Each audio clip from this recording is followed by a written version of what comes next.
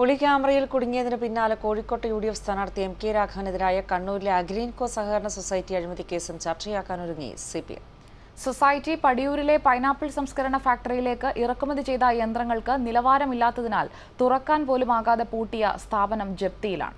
M K Raghavan ചെയർമാനായിരിക്കെ നടന്ന ഗുരുതരമായ ക്രമക്കേടിൽ അന്വേഷണം തുടങ്ങിയതോടെയാണ് പുതിയ നീക്കം.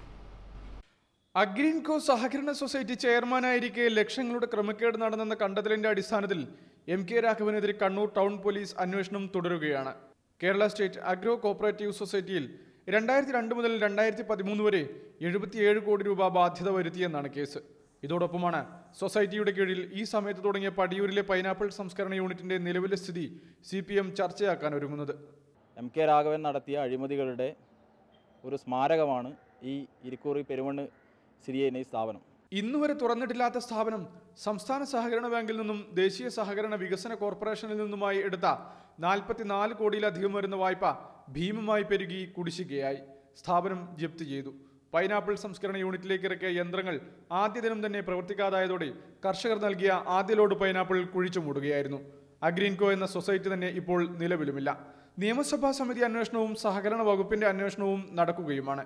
അഗ്രീൻകോ അഴിമതിയിൽ എം കെ രാഘവൻ പ്രതിയായെങ്കിലും ഈ വസ്തുതകൾ പുറത്തു വന്നിട്ടില്ലെന്ന് തിരിച്ചറിഞ്ഞാണ് സി പി എം നീക്കം. കോടിക്കണക്കിന് രൂപയാണ് ഇതിന്റെ മറവിൽ അഴിമതി നടത്തിയിട്ടുള്ള വലിയ കെട്ടിടം എടുത്തു. അപ്പോൾ തീർച്ചയായും കേരളത്തിലെ ജനങ്ങൾ ഇതെല്ലാം കാണുന്നുണ്ട്. വലിയ ചർച്ചയിലേക്ക് ഇത് സംഭവം വരാൻ വേണ്ടി പോവാണ്. എന്നാൽ ഇവയെല്ലാം തെരഞ്ഞെടുപ്പ് ലക്ഷ്യമിട്ടുള്ള ആരോപണങ്ങളെന്നായിരുന്നു എം കെ രാഘവന്റെ പ്രതികരണം. കോടികൾ ചെലവിട്ട് സ്ഥാപിച്ച ഫാക്ടറിയിൽ നിന്ന് നഷ്ടമീടാക്കാൻ പോകുന്ന സ്വത്തുവകകൾ ഇല്ലാത്തതിനാൽ വായ്പ നൽകിയ സ്ഥാപനങ്ങളും പ്രതിസന്ധിയിലാണ്. കണ്ണൂരിൽ നിന്നും സഹൽസി മുഹമ്മദ് ഏഷ്യാനെറ്റ് ന്യൂസ്.